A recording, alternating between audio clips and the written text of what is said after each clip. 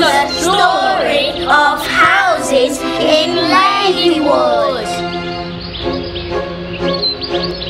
In the 1700s, Ladywood was all fields and a few cottages.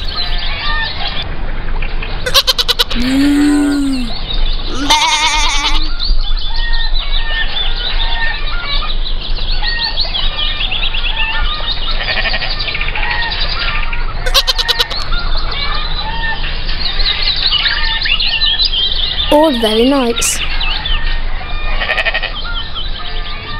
A few miles away, coal was discovered and started to be mined. Canals were built to bring the coal to Birmingham.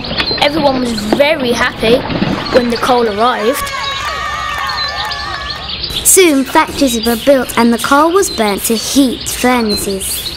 Iron ore and limestone were melted in the furnaces and used to make metal objects. Houses for the workers were built near the factories. Railways made it quicker for goods to be taken away and sold. I'm a wealthy factory owner. I became rich and moved into a posh house away from the smoky factories. Unfortunately, poor people had to live near where they worked in unhealthy conditions. Eventually, the old buildings were demolished.